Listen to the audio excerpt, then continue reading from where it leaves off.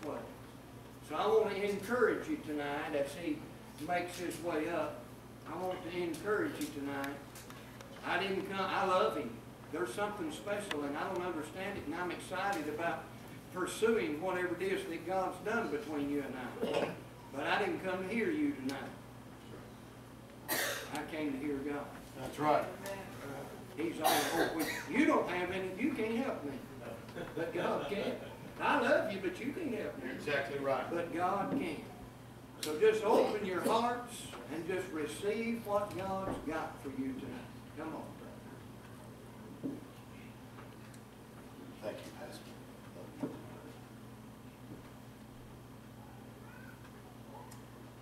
I'd like to mention two things that I'm very thankful for, and then give you one request before we get started here.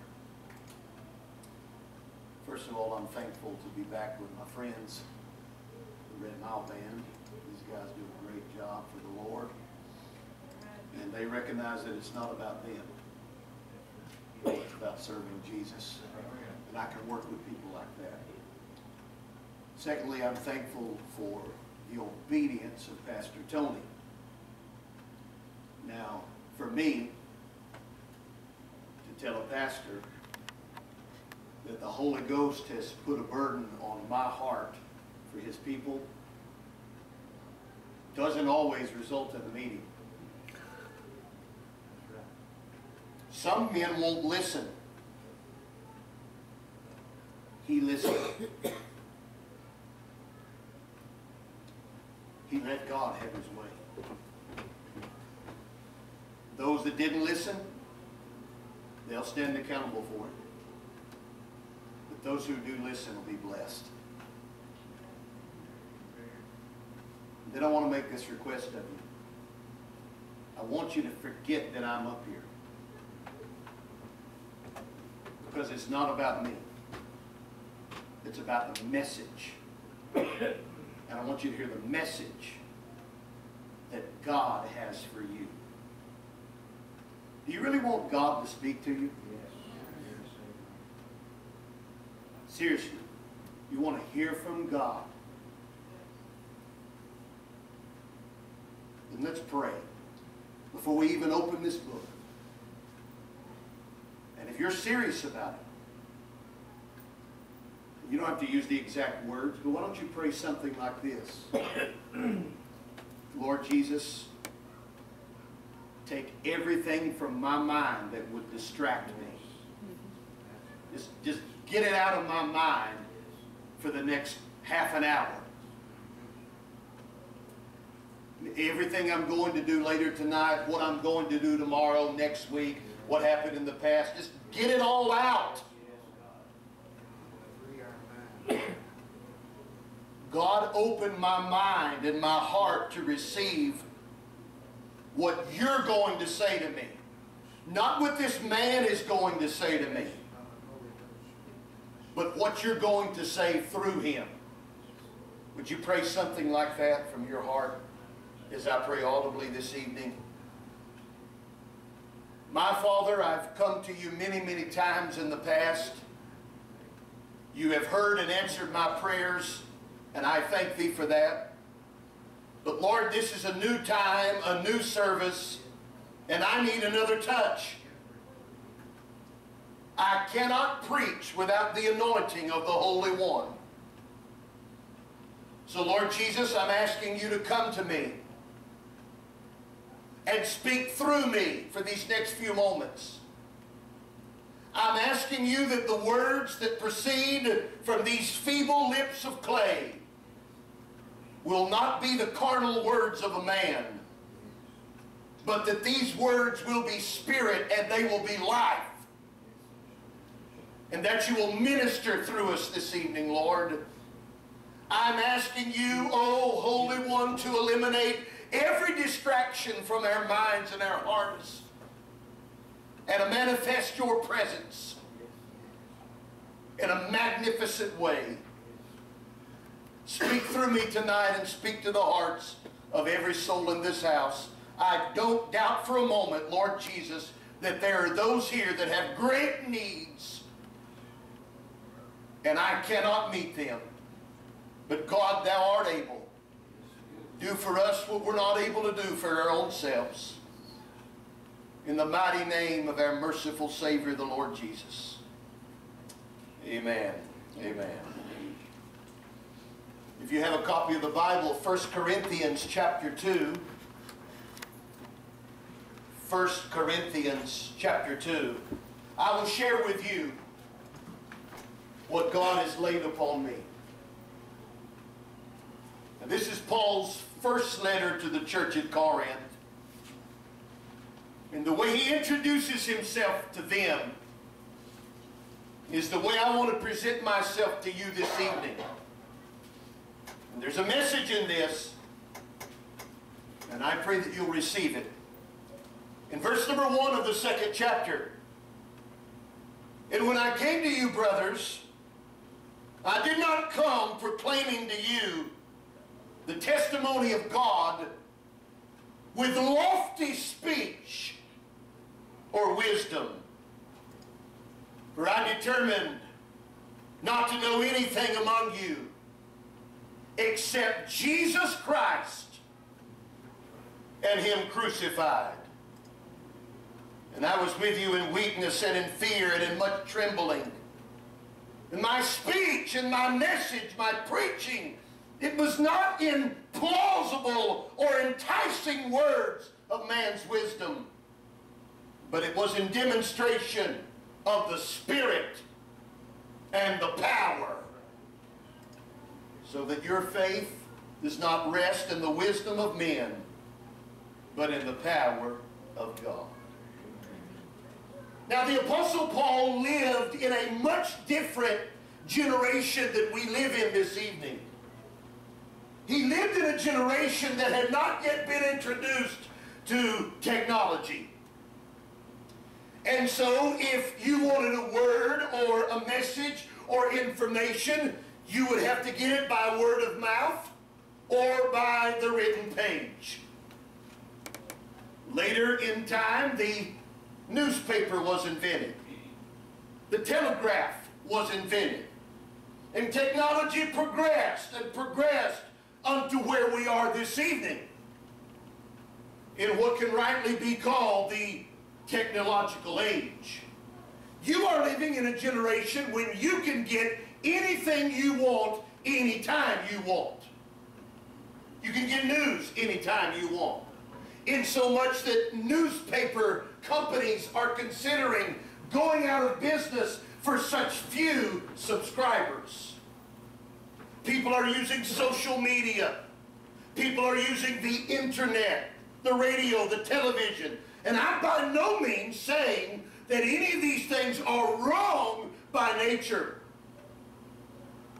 But I am saying that technology has affected our churches as well. This is a generation where people get the idea, I'm going to do church, but I'm going to do it on the internet. And I'm not talking about people that are not able to get out. Don't misunderstand me. If you can't get out and get to church, and all you can have is radio and television and internet, then I'm glad for those avenues. But there will never be a replacement for God's people coming together as one corporate body in Christ, in one accord, in one spirit, in one heart, for one purpose, and that is all about Jesus Christ. And I pray that that's why you're here uh, this very evening. Uh, you want to hear Jesus speaking to you. As I said, Paul was living in a different generation. But here's the struggle he faced. The city of Corinth was obsessed with philosophy and wisdom. And Paul could have sat down with any of them, Pastor, and went toe to toe in wisdom and knowledge. But he said, when I came to you, my approach was not man's wisdom. It was not deep philosophical thought. It was not the ways of the world. My approach and my message was one thing. Jesus Christ and Him crucified. And I would to God that every preacher could get back to that. Let me say a word to the preachers. If you're preaching current events, stop. If you're preaching the ways of the world, stop. If you're preaching your own opinion or the traditions of your fathers, stop. Preach one thing Jesus Christ and Him crucified. That is the only message that is going to matter when it's all over with. So though Paul may have been pressured to try some new approach, he remained steadfast. He knew what it was that God had called him to do. And he was confident that the gospel had the power to get the job done. You're looking at a man this evening uh, that still believes that there's power in the simple gospel Christ died, He was buried, and He rose again. Uh, I believe uh, there's still enough power in that one message to change the life of anybody who hear it and believe it. And so our approaches may change. And now we have different avenues. And thank God we can use television and the internet and the radio. And thank God we have sound systems. And thank God we can put words on a screen. But let's not allow technology to pull us away from the one central message. And that message is Jesus methods change, and that's okay. But the message can never be changed. If we change our message and we depart from Christ, uh, and the preaching of his cross, then we need to just go ahead and get out of the ministry and go do something else. It's all about Jesus. I've come to you not with enticing words of man's wisdom, but I've come to you to tell you that for whatever is wrong in your life right now, Christ is right in your life right now. And whatever problem you've got right now, Jesus is the answer. Notice with me that this was the central message that the Apostle Paul preached to, to the multitudes that he encountered. He said, when I came to you, I declared unto you the testimony of God. He was committed to sharing the gospel with as many as he possibly could. Now let me say this. When you commit yourself, whether you be a pastor, an evangelist, or just a born-again Christian, when you commit yourself uh, to sharing the gospel, do not assume that you will be able to do it without obstacles. Now somebody help me preach tonight. Don't let me stand up here alone. Now, don't come unplugged on me before we even get started good. I'm telling you, when you commit yourself uh, to sharing Jesus uh, with everybody you can, you can expect uh, to meet obstacles head on. Why? The devil hates that message. And he's going to do everything that he can to suppress it uh, and to keep it down. He didn't want you talking about Jesus. He didn't want you magnifying the grace of God. Uh, he didn't want you witnessing to anybody. He wants you to be silent. Uh, but oh, my friend, we need some believers, Brother Steve, who say, I'm determined to preach Jesus uh, and him crucified no matter what uh, comes against me. You can't expect others to hear about Jesus if you're not willing to share him. Can I give you one illustration? How many of you would come into agreement with me that cancer is a terrible, horrible affliction? All right? Imagine that God supernaturally gave to me the cure for cancer. Question. Would you consider me an evil man if I had the cure for cancer and told no one? Are you with me?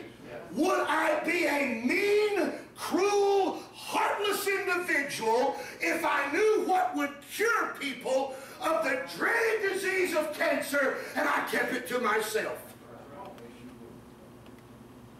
Rightfully so. Ladies and gentlemen, there is a disease that is far worse than cancer. Cancer may destroy the body, but there is something called S I N. And it not only destroys the body, but it destroys the soul. It's a terrible, terrible affliction. It's the worst in all the world.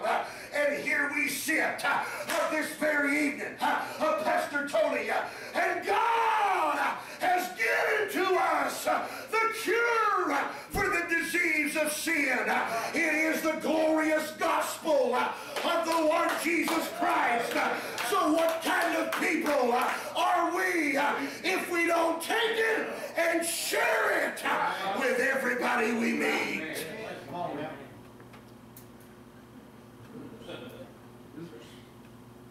I know what that problem is. I know what your problem is because I have the same one. I'm not some high-class preacher preaching to low-class people, fooling on anybody that acts that way. We're the same. And my problem is the same as your problem.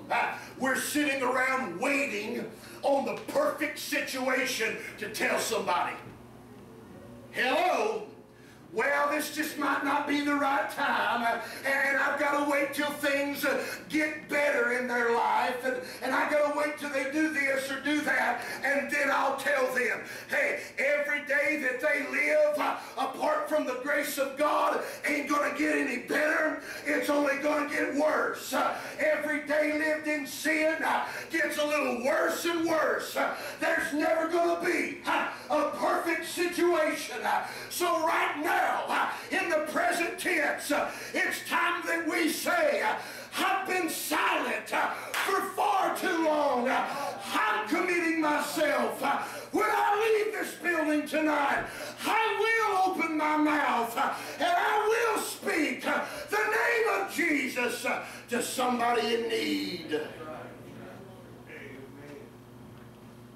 God didn't wait for me clean my life up before he gave me the gospel. I hope none of you think that way. And listen, there's churches all over the world that preach that kind of garbage. And they spew out the nonsense of, well, if people will just cover up their tattoos and get their hair cut a certain way and dress a certain way and stuff the right translation under their arm, then we'll accept them. The only problem with that is it's not true. Amen. Right. God accepts you in Christ just as you are. He doesn't say reform your life, get better, change your clothes, and then I'll love you. But no, while you were still in sin, a drinking and a cussing and a blaspheming God, Christ died for you. God loved you before you ever thought of his holy name. God is waiting on you to get better. He's waiting on you to throw up your hands and say, I can't do it. And that's when God steps in. When you say, I can't handle this, I ain't getting any better, I can't reform my life, Lord, I give it to you. I'm bringing all the broken pieces before Jesus. Hey, can I tell you, can I say this, Brother John? God doesn't mind if your life is broken in pieces as long as you're willing to bring all those pieces and lay them down at the feet of Jesus and say, Lord, I've made a mess. I've done ruined it. I need the gospel to fix what's wrong in my life.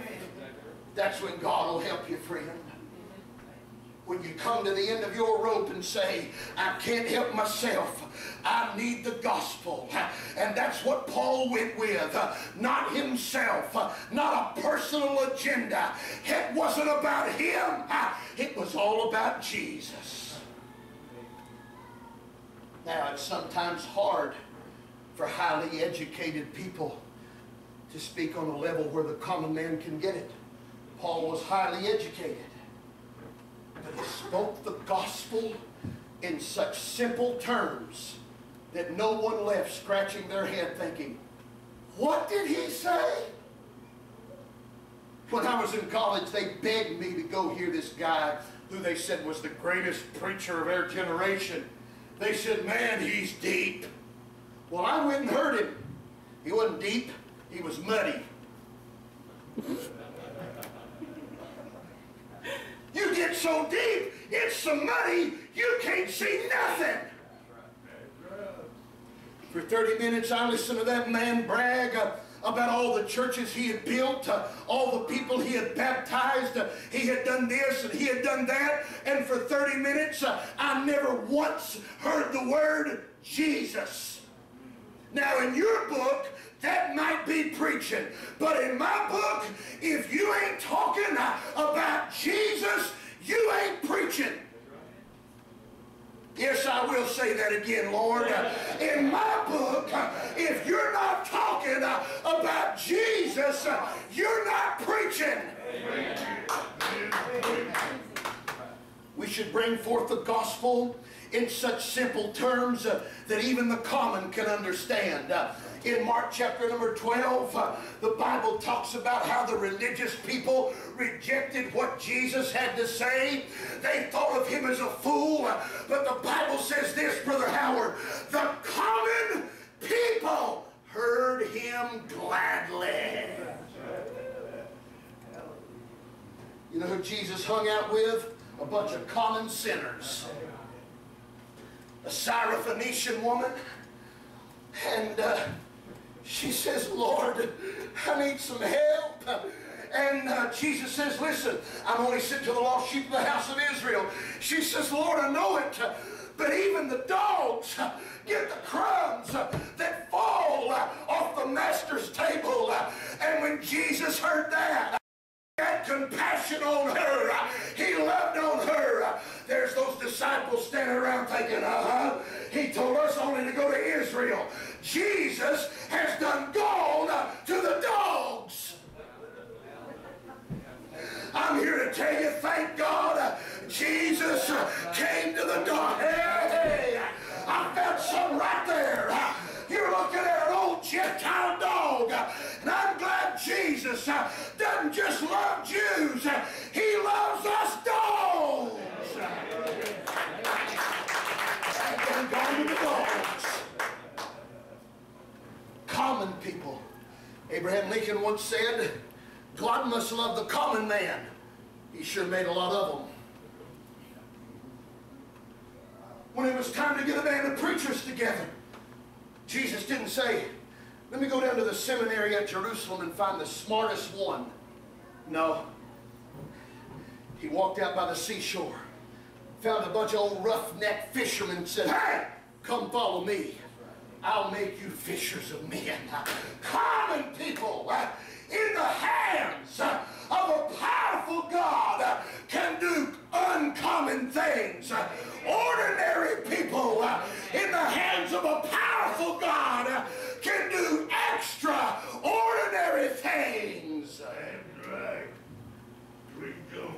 Paul didn't want any personal recognition. He didn't come to proclaim his own self. He felt the same way John the Baptist did. I must decrease uh, and Christ must increase. Uh, he came to lift up Jesus. Uh, he came to preach Christ crucified, buried, and risen again. And that salvation was not available through religion, but it was available through Christ alone. I'm not against humanitarian efforts. If an organization wants to feed the hungry, I'm for it. If an organization wants to clothe the poor, I'm for it. But listen, if all we do is minister to the body and we neglect the soul, uh, then we've not fulfilled uh, what Christ, amen, uh, we've not fulfilled what Christ has sent us to do. How about a meal with a message? How about some food with an offer of a robe of righteousness that'll cover them and keep them whole and warm? Let's not just work on the outer man. Let's fishing for the souls of mankind and keep the ministry majoring on the gospel, not the wisdom of men. Every week in my mailbox, and I mean this, there's not a week that goes by that I don't get some advertisement. If you'll take this pill, you'll lose 30 pounds in 30 days.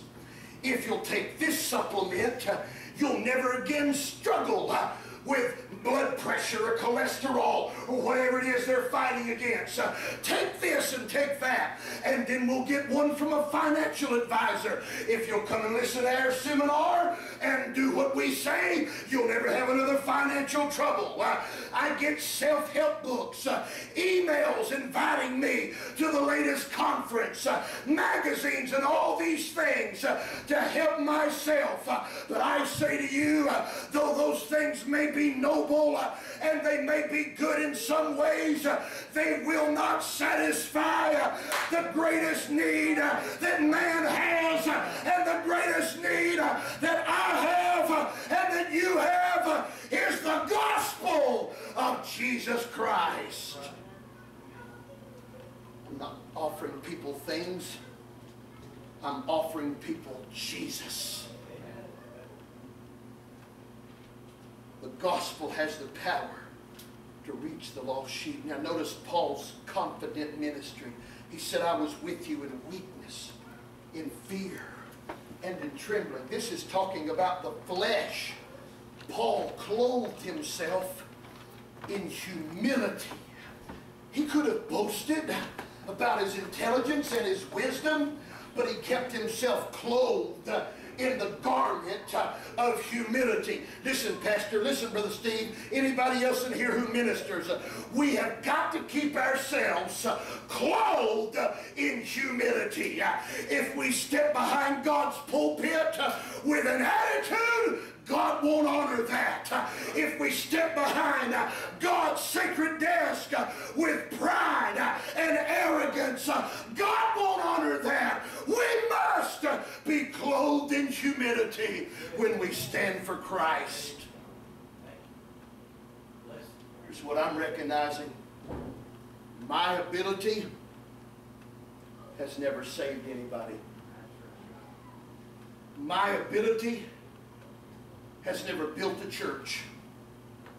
My, and I'm thankful for that. I'm glad uh, that the success uh, and the future uh, and the hope uh, of our ministries uh, is not based on our flesh uh, or the ability of our minds. It's based on the ability of the Spirit of God. And if we'll preach Christ and Him crucified, the Holy Ghost will honor that and He will work to draw people to Jesus. Now listen, churches don't prosper because of the abilities of men. They prosper because of the ability of the Holy Ghost. God will share His peace with you. God will share his power with you. God will share his love with you. But God will never share his glory with you. What do you mean by that? I mean this. He won't let you get half the glory and him the other half. It's all his. If you do anything, if I do anything, if I get a compliment, if you get a compliment, it ought to be immediately to God be all the glory. For some reason, I don't think some of you hear me tonight. For someone to say that's good preaching and me to say, well, thank you, is the wrong spirit. For someone to say, man, you all sang and played good tonight, you thank you, the wrong spirit. It ought to be if there was anything good from you, if there was anything good uh, out of this mouth, uh, then to God uh, be all the glory. To Jesus be all the praise. It is not about us. It's about Jesus.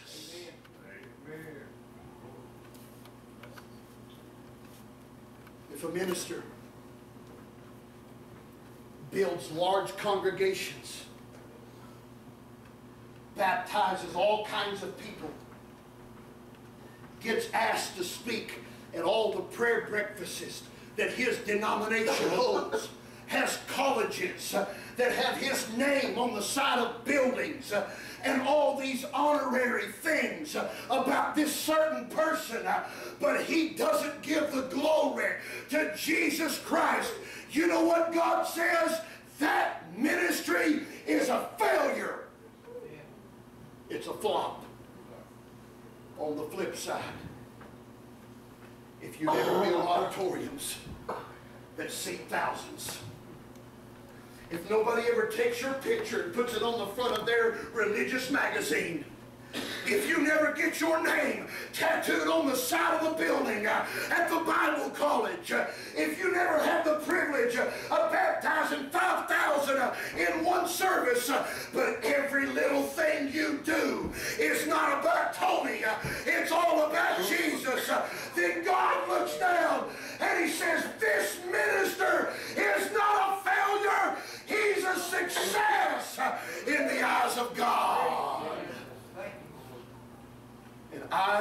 rather be a failure to the whole world and a success to my Father than to be a success to men and a failure to my God.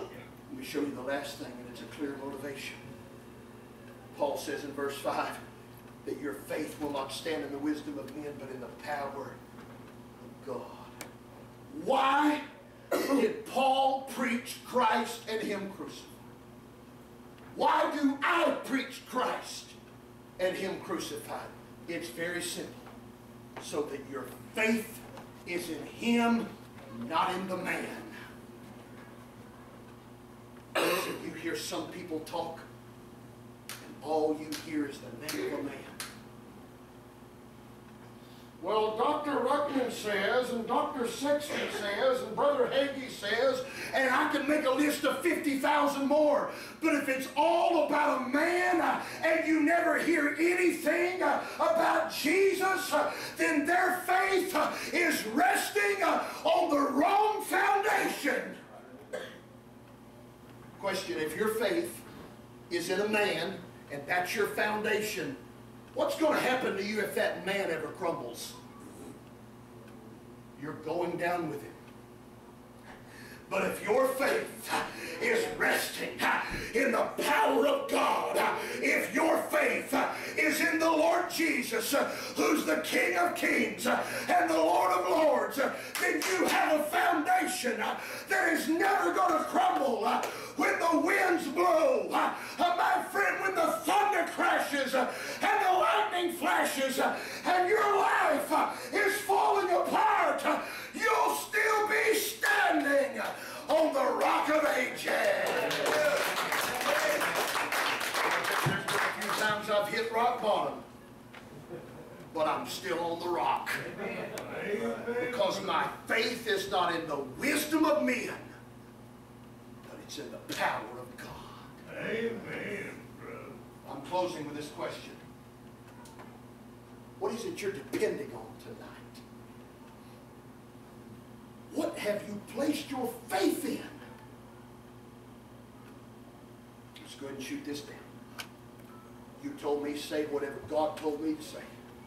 Is that right? If your faith is in religion, I feel sorry for you. If you think for a moment that you're going to get to heaven because of where you go to church, I feel sorry for you. If all you can say is, you know, back when I was six years old, I, I went forward and I don't remember a thing, uh, but so-and-so uh, said a few words over me and he told me uh, that I was saved, uh, but there's no conviction. uh, there's never been a change in my life. I have no desire for God. Then friend, it's time uh, that you junk all of that and you get down here and you say, God, I want Jesus. Nothing else. Nothing. If this were my last night on earth, and I stood before God, and I don't know how it'll be, and you don't either. But if God were to say to me, why should I let you in my kingdom? I have a one-word answer. Jesus. Here's the news for you. Any other answer besides Jesus? And the next words you'll hear is, Depart from me. I never knew you. It's Jesus now. And it'll be Jesus then. If you're not 100% sure that your faith is resting in the power of God, then I urge you to come down here in just a moment when we do the song. I urge you to come down here and say, God, I don't want religion. I don't want myself. I want Jesus. God will hear and answer that prayer. And if you're saved tonight, Jesus is your Lord and Savior, then you ought to come down here and say, Lord, I am giving you my life. When I leave here tonight, give me a fresh boldness by the anointing of the Holy Spirit that I'll stop speaking about everything else and I'll go out of here talking about Jesus and Him alone. If you're physically able, will you stand with us all over the house?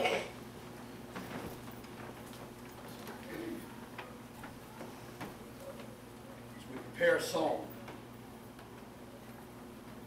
whatever you guys have on your heart is fine. But I'm asking you to kindly bow your head for just a moment, please. I'm not coming to you. I will not embarrass you. All that I would like to be able to do is know how to intelligently pray for you. And so if you're here this evening and you're unsure as to whether or not you've ever embraced the gospel of Jesus Christ personally, then please let me pray for you. Is there one here you'd say, Pastor Jeremiah, I am not 100% sure that I am saved. Would you pray for me? God bless you. Is there another? Anyone? Pastor Jeremiah, I am not 100% sure that I am saved. Would you pray for me? God bless you. I see that hand. Is there another? I appreciate these two that have been honest. If you're tired of religion, tired of self, tired of sin, and you really want Jesus, then in just a moment when they begin to sing, I invite you to come and I'll be glad to pray with you. Or if you're here this evening and you're saved, but you'd say, Pastor Jeremiah, I want a holy boldness from the Spirit of God that I can open my mouth and speak Jesus, speak life into someone. Pray that God would give me that boldness. If that's in your heart, would you lift your hand? God bless you. God bless you. I see these hands. You are invited to come as the Spirit leads you. Father, in Jesus' what's been said for the glory of God and Him alone. Bless the invitation. If it be thy will, O Lord, may someone come to thee in your holy name. Amen. He is jealous for me. Love's like a hurricane.